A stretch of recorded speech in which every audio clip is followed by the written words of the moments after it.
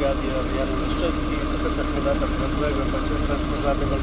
O godzinie dzisiejszej, na godzinie 8.37 otrzymaliśmy zgłoszenie, że na wystawie przy ulicy Gdańskiej, budynek, gdzie znajduje się budynek byłej składowni, e, zawaliła się część dachu. E, na miejsce zostały zadysponowane zastępy TRG Malbork, e, zastępy OSP z terenu gminy Nowy Staw. E, Na miejscu okazało się, że zawalił się budynek, że mogą znajdować się tam osoby poszkodowane. E, Została zadysponowana grupa, specjalistyczna grupa poszukiwawczo-ratownicza z Gdańska, e, która przybyła tutaj na miejsce przy użyciu psów, e, wykonała przeszukania tych wszystkich pomieszczeń, tego gruzowiska właściwie.